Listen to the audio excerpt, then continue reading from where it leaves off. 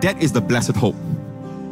If you tell me the rapture will happen when Jesus comes back, is referring to Jesus at the end of seven years tribulation, that's not the blessed hope for the church.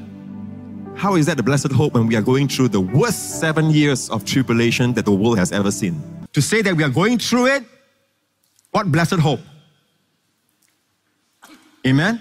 But to say that we won't be going into, through it, yes, that's blessed hope.